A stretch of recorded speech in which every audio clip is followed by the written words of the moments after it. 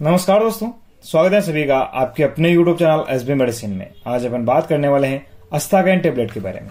अस्ताकैन tablet को life मेन का फॉर्म बनाता है, जिसकी प्राइस है पैंतीस रूपए चार पैसे पर शीट इसमें जो कंटेंट डाला गया है, वो है टर्बुटालिन सल्फेट दो पॉइंट पाँच एम जी ब्रोमैक्सिन हाइड्रोक्लोराइड इसमें चार एम जी और गुएफेंसिन होता है इसमें सौ एम जी इसका यूज़ आप स्पेशली डॉक्टर सलाह से करें तो ज़्यादा बेहतर रहेगा। ये टेबलेट आपको डॉक्टर के प्रिस्क्राइब पे सभी मेडिकल स्टोर पे आसानी से मिल जाएगी। अस्तागन टेबलेट का यूज़ बलगम वाली खांसी के इलाज में रहता है। साथ ही आपको दमा की शिकायतें, ब्रोंकाइटिस है, या फिर आपको सीओपीडी यानी क्रोनिक ऑब्स्ट्रक्टिव पल्मोनरी डिसीज है।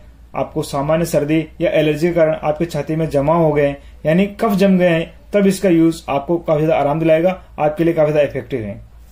ये टेबलेट एक एक्सपोर्टेंट होने की वजह से आपके गले और छाती में जमाव को ढीला करते हैं और खांसी के ज़रिए उसको बाहर निकाल देते हैं, जिससे आपको गले में और छाती में जो जमाव है, उसमें आराम मिलता है और आपको सांस लेने में दिक्कत रहती है या फिर गरगराहट की समस्या रहती है। साइनोसाइटिस की प्रॉब्लम्स हैं, नाक बह रही है, छींके चल रहे हैं, वाटरी आइज़ की प्रॉब्लम्स हैं या गले में गुदगुदी चलने जैसा लग रहा है।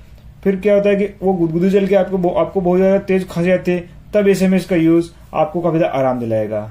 इस टेबलेट में जो गुआ फेंसिन है, वो एक एक्सपेक्टोरेंट है, जो कफ की चिपचिपाहट को कम करता है और उससे एयरवेज से बाहर निकालने में हेल्प करता है।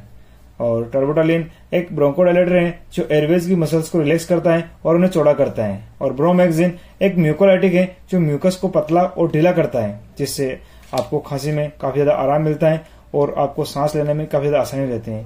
कफ वाली खांसी के टाइम आपको स्पेशली ध्यान रखना चाहिए कि आप ज़्यादा तेल या घी की चीज़ें यूज़ ना करें और या फिर ज़्यादा धूल मिट्टी वाली जो अगर कोई जगह है, उस जगह आप ज़्यादा काम ना करें, या फिर वो सब चीज़ें ना करें जिनसे आपका गला, जो भी आपका गला है, वो खराब हो सकता है।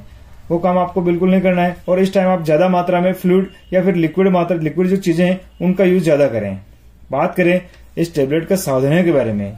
तो अगर आपको किडनी के संबंधी कोई भी समस्या है, आपको कोई भी सीवियर डिज़ीज़ है, या फिर आप प्रेग्नेंट लेडी या ब्रेस्ट मदर हैं तो इसी सभी कंडीशंस में इसका यूज़ करने से पहले आप अपने डॉक्टर को आपकी जो भी कंडीशन है, उसके बारे में ज़रूर बताएँ।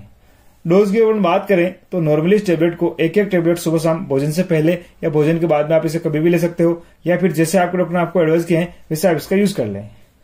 अब बात कर लेते हैं इसके होने वाले साइड इफ़ेक्ट के बारे में। तो इसके, वैसे तो कोई मेजर साइड इफ़ेक्ट नहीं होते, पर कुछ जो अगर आपको कभी कभार नज़र आ सकते हैं, उसमें है डायरिया होना, पसीना आना, चक्कर आना आपकी हार्ट रेट बढ़ जाना और आपको नोजिया या वोमिटिंग की समस्या हो सकती है। ये साइड इफ़ेक्ट कुछ टाइम के लिए होते हैं, कुछ टाइम बाद आप ठीक हो जाते हैं। हाँ अगर आपको इनके अलावा कोई भी अदर कंडीशन क्रिएट होती है या फिर यही साइड इफ़ेक्ट लंबे टाइम तक बने रहते हैं, तब ऐसे में आप इसका यूज़ बंद करके तुरंत अपने डॉक्टर से कंसल्ट कर सकते हैं।